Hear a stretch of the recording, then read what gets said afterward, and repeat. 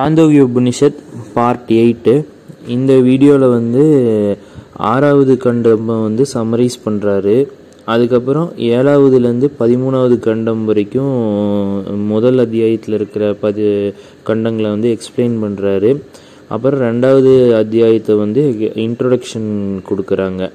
இப்போ ஆறாவது கண்டத்தில் வந்து பரமேஸ்வர தெய்வ அந்த உபாசனா வந்து எக்ஸ்பிளைன் பண்ணாங்க.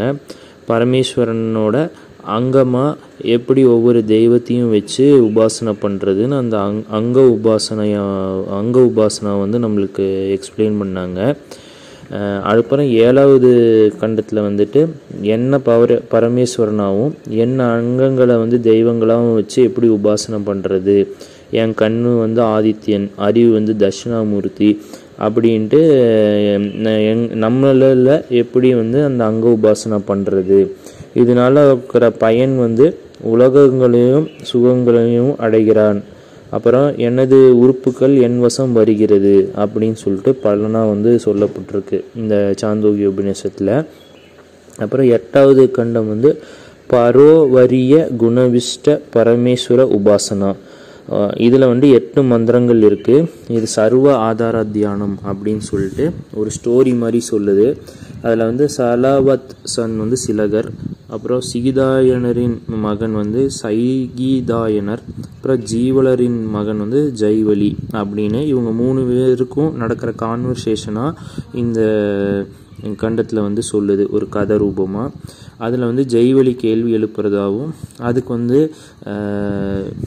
சா- சாலவத் அவர் வந்து பதிலளிக்கிறதாகவும் இருக்குது அவர் வந்து ஜெய்வலி வந்து சா சாமவேதத்தோட ஆதாரம் என்னன்னு ஆரம்பித்து ஒவ்வொன்றோட ஆதாரம் என்ன? இப்போ சாமவேதத்தோட ஆதாரம் என்ன? ரா ராகஸ்வரங்கள் ராகஸ்வரங்களோட ஆதாரம் என்ன? பிராணன் பிராணனுக்கு ஃபுட்டு சாப்பாட்டுக்கு தண்ணி தண்ணிக்கு லேண்டு லேண்டுக்கு ஹெவன்னு ஒவ்வொன்றா போய் கடைசியில் முடிவான பிரம்மம் தான் சர்வத்துக்கும் ஆதாரம் அப்படின்னு சொல்லி அவர் ஒன்பதாவது கண்டத்தில் வந்து அவர் முடிக்கிறாரு. அப்புறம் வந்து அதை எப்படி தியானம் பண்ணுறதுன்றம்போது ஆகாசம் தான் கடவுள் அப்படின்னு ஆகாசத்துக்கு உண்டான ஒரு குணம் வந்து அது வந்து சர்வ வியாபகம். அது எல்லா இடத்துலையுமே இருக்குது அப்படின்ட்டு. அதோட ஒரு குணம் த வந்துட்டு கடவுளா அப்படின்னு கடவுளாக வந்து நம்ம உ- உபாசனை பண்ணலாம் அப்படின்னு சொல்லிட்டு அதை முடிக்கிறாங்க. இதோட பலனாக வந்து மேலான உலகத்தை அடைகிறான் அப்படின்னு சொல்லிட்டு இந்த சாந்தோகி உபனிஷத் சொல்லுது. அடுத்தது வந்து பத்துலேருந்து பன்னெண்டாவது கண்டம் வந்து பக்தி தேவதா தியானம் அப்படின்னு சொல்லிட்டு இதில் வந்து பக்தின்றது வந்து சாமவேத மந்திர தொகுதிகளுக்கு வந்து பக்தி அப்படின்னு சொல்லி சொல்கிறாங்க இதுக்கும் ஒவ்வொரு பக்திக்கும் ஒவ்வொரு தேவதா உண்டு. இதில் வந்து பிராண உபாசனா ஆதித்ய உபாசனா அன்ன உபாசனான்னு சொல்லிட்டு மூணு உபாசனைகள் சொல்கிறாங்க இதில் வந்து சக்ராயனர் அவரோட ஸ்டோரி சொல்கிறாரு அவரும் ஒரு ஒய்ஃபும் வந்து யானப்பழகங்க கிராமத்தில் வாழ்ந்தபோது அவங்க அவங்க ஒய்ஃப் வந்து ப்ரெக்னெண்ட்டாக இருந்தபோது நல்ல மழை. அதனால் அவருக்கு சாப்பிட்றதுக்கு எதுவும் இல்லாமல் மழை நின்னதுக்கப்புறம் ஒரு பிச்சை யாசிக்கிறதுக்காக அந்த கிராமத்தில் இருக்கிற கிராமத்தில் இருக்கிற யானைப்பாகர்கள்கிட்ட போய் கேட்குறாரு அவங்கக்கிட்டேருந்து சாப்பாடு வாங்கிக்கிறாரு. பட் அவங்க தண்ணி கொடுத்தோன்னே தண்ணி வந்து அவர் கொடுக்க சாப்பாடில்ல குடிக்கல. அப்புறம் அதுக்கு வந்து ஆபத் தர்மம் அப்படின்னு சொல்லிட்டு ஒரு ஒரு விளக்கம் கொடுக்குறாங்க. இப்போ ஆபத்தவரும்னா உணவு உயிர் பாதுகாப்புக்காக நான் சாப்பிட்டு தான் ஆகணும். பட் அது சாப்பிட்டு ஸ்ட்ரென்த் கிடைச்சதுக்கப்புறம் தண்ணியை வந்து நானே போய் இது பண்ணிக்குவோம் அப்படின்ற கான்செப்டில் அவர் சொல்கிறாரு அப்புறம் அடுத்த கண்டத்தில் வந்துட்டு அவர் அடுத்த நாள் வந்துட்டு ஒரு ராஜா வந்து ஒரு யாகம் வளர்க்குறாரு. அங்கே போய் இவர் யாகத்தில் பங்கு பங்கு பெறுறாரு. பங்கு பெற்றுட்டு அவர் வந்து அங்கே இருக்கிற அந்த பிரேத ஓடுற பிராமணர்கிட்ட அந்த உபாசனையோட அந்த அர்த்தம் தேவதா உங்களுக்கு தெரியுமா? அப்படின்னு கேட்கும்போது யாருக்கும் தெரில. எல்லாருக்கும் ஆலம்பனம் மட்டும்தான் தெரியுதே தவிர அதோட தேவதா தெரில. அதனால் அவங்க வந்து நீங்களே சொல்லுங்கள் சுவாமின்னு சொல்லும்போது அவர் அதை எக்ஸ்பிளைன் பண்ணுறாரு அதில் வந்துட்டு ஃபஸ்ட்டு பிரசிதவ உபாசனா அப்புறம் உகீத உபாசனா அப்புறம் பிர பிரதிகார உபாசனா அப்படின்னு சொல்லிட்டு ஃபஸ்ட்டு வந்து பிரசித்தவ உபாசனாவுக்கு வந்து ஆலம்பனம் வந்து பரமேஸ்வரனும் தேவதை வந்து பிராணனும் அப்புறம் உத்கீதத்துக்கு வந்துட்டு தேவதை வந்து ஆதித்யனும் ஆலம்பனம் வந்து உத்கீதமுனும் அப்புறம் பிரதிகார உபாசனாக்கு தேவதை அன்னமுனும் ஆலம்பனம் வந்து பிரதிகாரம் அப்படின்னு சொல்லிட்டு முடிக்கிறாங்க. அப்புறம் வந்து பன்னெண்டுலேருந்து பதிமூணாவது கண்டம். இது வந்து உணர்வுக்கான பிரார்த்தனைக்கான கண்டம் அப்படின்னு சொல்லிட்டு எக்ஸ்பிளைன் பண்ணுறாங்க அடுத்தது அந்த மைத்ரேயன் அவரோட ஸ்டோரி எக்ஸ்பிளைன் பண்ணுறாரு அவர் வேதம் படிக்க கிளம்பும்போது ஒரு வெள்ளை நாயை சுற்றி நிறைய நாய்கள் வந்து எனக்கு இன்றைக்கி சாதம் கிடைக்கல. எனக்கு வந்து சாதத்துக்காக நீங்கள் ப்ரே பண்ணுன்னு ஒயிட் கார்டு ஒயிட் வெள்ளை நாய்க்கிட்ட சொல்கிறாங்க அதுவும் வெள்ளை நாய் பார்த்திங்கன்னா வேதம் வந்து ஓதுது. இப்போ இவர் வந்து அந்த வேதம் வந்து அந்த வெள்ளை நாய்க்கிட்டேருந்து கற்றுக்கிட்டதாக ஒரு ஸ்டோரி வருது. இதோட தாற்பயம் என்னென்னா வேதம் வந்து யார் என்னென்னலான்னு நம்ம பார்க்காம வேதம் சொல்கிறவங்க தான் அதில் முக்கியம். அவங்க மூலியமாக நம்ம வேதத்தை கற்றுக்கலாம் அப்படின்னு சொல்லிட்டு அது நம்மளுக்கு இந்த ஸ்டோரி வந்து சொல்லுது.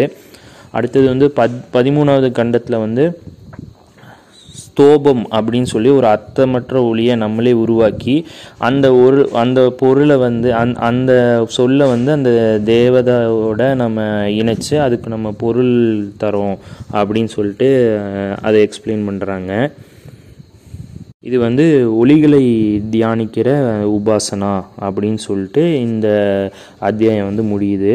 அடுத்தது ரெண்டாவது அத்தியாயத்தோட முன்னுரை கொடுக்குறாங்க. ரெண்டாவது அத்தியாயம் வந்து இருபத்தி நாலு கண்டம் கூட உடையது இதில் வந்து இது வந்து சாமவேதத்தில் இது பண்ணுறது அப்புறம் சாமவேதம் அதுனா சாது. சாதுன்னா என்னென்னா முரண் இல்லாத அமைதி. உள்ளேயும் வெளியிலையும் அப்படின்ற அந்த சாதுக்கான அர்த்தத்தை சொல்கிறாங்க அப்புறம் சாமவேதம் அதோட ஆலம்பனமாக வந்து ப ரெண்டாக பிரியுது. ஒன்று வந்து பஞ்ச பக்திகள் அஞ்சு அஞ்சா மந்திரம் வரும். இன்னொன்று வந்து சப்த பக்திகள் ஏழு ஏழாம் மந்திரம் வரும் அப்படின்னு சொல்லிட்டு அதை எக்ஸ்பிளைன் பண்ணிவிட்டு அதில் வந்து ரெண்டுலேருந்து ஏழு பதினொன்றுலேருந்து இருபத்தொன்று வந்து பஞ்சபக்தி மந்திரம்னும் அதுக்கப்புறம் எட்டு ஒம்பது பத்து வந்து சப்த பக்தி அதுக்கு உண்டான ஆலம்பனம் தேவதா நிமதனை அதெல்லாம் கூறப்பட்டிருக்கு. அடுத்தது வந்து இருபத்தி ரெண்டாவது வந்து சாமவேதம் ஓதுகின்ற முறை. இருபத்தி மூணு வந்து ஆச்சாரியங்கள் ஆச்சா ஆச்சிரமங்களை பற்றி சொல்கிறாங்க இருபத்தி நாலு வந்து சவண சடங்குகளை பற்றி சொல்கிறாங்க இந்த சாந்தோகி உபநிஷத்தில். அப்புறம் ஜென்ரலாக வந்து ஒரு முன்னுரை மாதிரி பஞ்சபக்தி தியானம்னா எப்படின்னு ஒரு உத உதாரணம் சொல்கிறாரு இப்போ எதாக இருந்தாலும் அஞ்சஞ்சா தியானிக்கும் முறை. இப்போ நீர் ஆனால் மலை மேகம் ஊற்று சமுத்திரம் நதி அந்த மாதிரி. அப்புறம் அதோட அதோட நிபந்தனையாக என்ன? அப் நிபந்தனைகள் என்ன அந்த தியானத்துக்கு? அதுவும் வந்துட்டு அதில் முன்னுரை மாதிரி கொடுக்குறாங்க. அப்புறம் தர்ம விசாரம். இந்த ரெண்டாவது அத்தியாயத்தில் முக்கியமான இதுவே இன்ஃபர்மேஷனே இந்த தர்ம விசாரம் தான் அப்படின்னு சொல்லிட்டு கர்மம்னா நம்ம செய்கிறது தர்மம்னா அதோட பலன். கர்மம் வந்து நல்வினை தீவினையாக இருக்கும். தர்மம் வந்து பாவ புண்ணியமாக இருக்கும். கர்மத்தில் நம்ம மதியை உபயோகித்து செய்யலாம். ஆனால் அதோட பலன் வந்து எப்பயுமே விதிப்படி தான் இது பண்ணும். விதி வந்து பாவ புண்ணிய இது படி தான் நடக்கும் அப்படின்னு சொல்லிட்டு அதை எக்ஸ்பிளைன் பண்ணுறாரு அப்புறம் கிரமமுக்தி கர்மிக்கு வந்து கர்மம் செய்கிறவருக்கு பார்த்திங்கன்னா கிரமமுக்தி தான் தேவை அடைய முடியும். அதில் வந்து அதில் வந்து கர்மம் தர்மம் வந்து தேவை. இவங்க வந்து ஹையஸ்ட்டாகவே வந்து சத்தியலோகம் தான் போக முடியும். போய் இந்த சிருஷ்டி முடிகிற வரைக்கும் இருக்கலாம். அவ்வளோதான் இதோட இது பட் இன்சைட் ஞானி வந்து விதேக முக்தி அவர் இங்கே வாழும்போதே முக்தி அடைஞ்சிருந்தாரு இதுக்கு ஞானம் மட்டுமே போதும். அவர் வந்து இந்த உடல் சூட்சம சரீரம் எதுவும் நான் இல்லைன்னு இங்கேயே அவர் விட்டுடுறாரு. அதனால் அவர் வாழும்போதே அவர் முக்தி அடைச்சார். அடைச்சி அடைஞ்சிடுறாரு. அதுக்கப்புறம் நாலு வர்ணங்களை பற்றி சொல்கிறாங்க பிராமணன் சத்திரியன் வைஸ்ரியன் சூத்திரன் அப்படின்னு. அப்புறம் ஆசிரமம் சொல்கிறார் ஆசிரமத்தோட தர்மத்தை பற்றி அதுக்கப்புறம் பேசுகிறாரு அப்புறம் பிரம்மச்சரிய ஆசிரமம் அப்படின்னு சொல்லிட்டு அதில் வந்து ரெண்டு சொல் ரெண்டு வகையான ஸ்டூடெண்ட் இருக்காங்க. ரெண்டு வகையான சிஷ்யர்கள் இருக்காங்க அப்படின்ட்டு. உபக் உபகர் உபகுருவன அப்படின்னு சொல்லிட்டு அவன் வந்து குருகுலவாசி. அவங்க வந்து பிரம்ம வித் பிராமணர்னா பிராமணரோட வித்தை வைசியர்னா அவங்க வித்தை சத்திரியர்னா சத்திரிய வித்தை சூத்ரன்னா சூத்திர வித்தையை கற் கற்கும் பருவம்.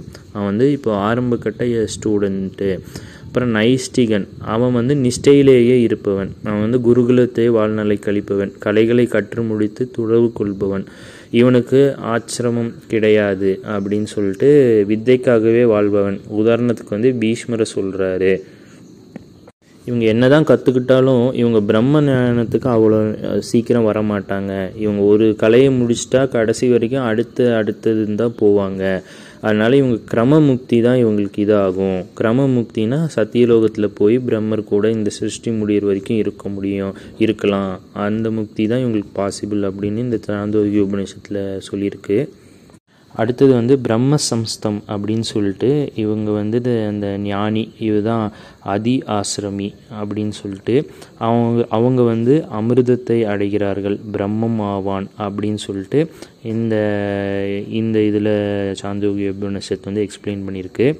அப்புறம் கிரகஸ்த ஆசிரம தர்மம் அப்படின்னு சொல்லிட்டு இந்த கிரகஸ்தனோட ஆசிரம தர்மத்தை வந்து சொல்லியிருக்காங்க. இதில் வந்து யக்ஞம் அத்தியனம் தா தியானம் அப்படின்னு மூணு சொல்கிறாங்க யக்ஞம் வந்து பஞ்சமகா யக்ஞம். தேவதை ரிஷி பித்ரு மனுஷ பூத அந்த யக்ஞம். அடுத்து வந்து அத்தியாயனம் அதில் வந்து ஸ்வீகரணம். அது வந்து புத்தகத்தை பார்க்காமல் ஓதுதல். அப்புறம் விசாரணம். அந்த புத்தகத்தில் இருக்கிறத விசாரணை செய்கிறது அதான் திரும்பி திரும்பி நம்ம ஓ- ஓதுதல். அப்புறம் மந்திரத்தை ஜெபித்தல். அப்புறம் தத் தானம் அதனை வந்து பிறருக்கு வந்து சொல்லித் தருதல் அப்படின்னு சொல்லிட்டு சொல்லியிருக்கிறாங்க. அடுத்தது வந்து தானம். இது வந்து பகிர்வேதி அப்படின்ட்டு தட்சணை தருதல் தருதல் அப்படின்ட்டு ஒரு காரியம் வந்து எந்த விதமான எதிர்பார்ப்பும் இல்லாமல் செய்கிறது அத்தியனம் கூடயும் செய்யாமல் இருக்கலாம். ஆனால் தானம் வந்து செய்யாமல் இருக்கக்கூடாதுன்னு தியானத்தோட அந்த மகிமையை வந்துட்டு இங்கே தான் இங்கே வந்து சாந்தோதி உபநிஷத்து வந்து சொல்லுது. அப்புறம் வானஸ் பிரஸ்தம் தர்மம் அப்படின்னு அது தவம் அது வாக்கு தபஸ் அப்படின்னு சொல்லிட்டு சத்தியம் ப்ரூயாத் இதம் ப்ரூயாத் அந்த இது வந்து சொல்கிறது ஒரு ஒன்றை சொன்னால் அது இனிமையாக சொல்லணும். பயன் கொடுக்கறதா சொல்லணும். அதை வந்து க அது வந்து உண்மையாக இருந்தால் மட்டும்தான் சொல்லணும் அப்படின்னு அதை கடைப்பிடிக்கிறவங்க அப்புறம் உணவு கட்டுப்பாடு அப்புறம் இந்திரிய போகத்தை தவிர்த்தல் அப்படின்னு சொல்லிட்டு இது வந்து சந்நியாசத்துக்காக ஒத்திகை அப்படின்னு இங்கே சாந்தோபியோ சாந்தோ சாந்தோக்கிய உபநிஷத்தில் வந்து சொல்லப்படுது. நன்றி வணக்கம்.